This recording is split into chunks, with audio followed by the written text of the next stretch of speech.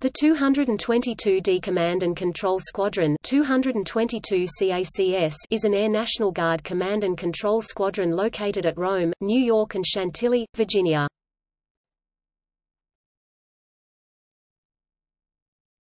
Topic: Mission 222 CACS provides the National Reconnaissance Office's NRO National Reconnaissance Operations Center NROC with augmentees to assist NRO and U.S. Air Force Space Command during times of need.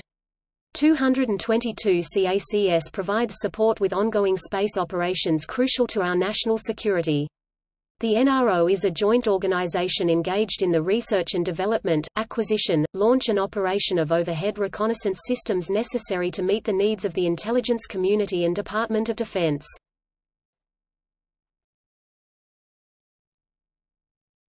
Topic: History.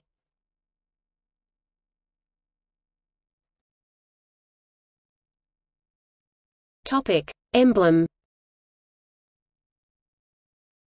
Ultramarine blue and Air Force yellow are the Air Force colors. Blue alludes to the sky, the primary theater of Air Force operations. Yellow refers to the sun and the excellence required of Air Force personnel. The stars symbolize the unit ties to the Air Force Space Command. The orbiting satellite represents the unit's connection to space and the National Reconnaissance Office. The satellite represents local heritage and culture. The profile of the Minuteman symbolizes the connection to the Air National Guard and the unit's rapid response capability. Emblem approved 13 March 2009. Topic: Previous designations. 222d Command and Control Squadron, the 13th of November 2008 present.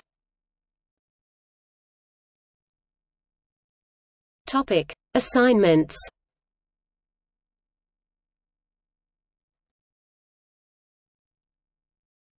Topic: Major Command, gaining command. Air National Guard, Air Force Space Command, the 13th of November 2008 present. Topic: Locations. Rome, New York, Chantilly, Virginia, the 13th of November 2008 present. Topic: Photo gallery.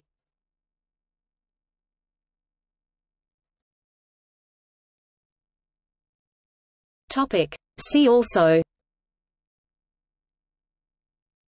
National Reconnaissance Operations Center NROC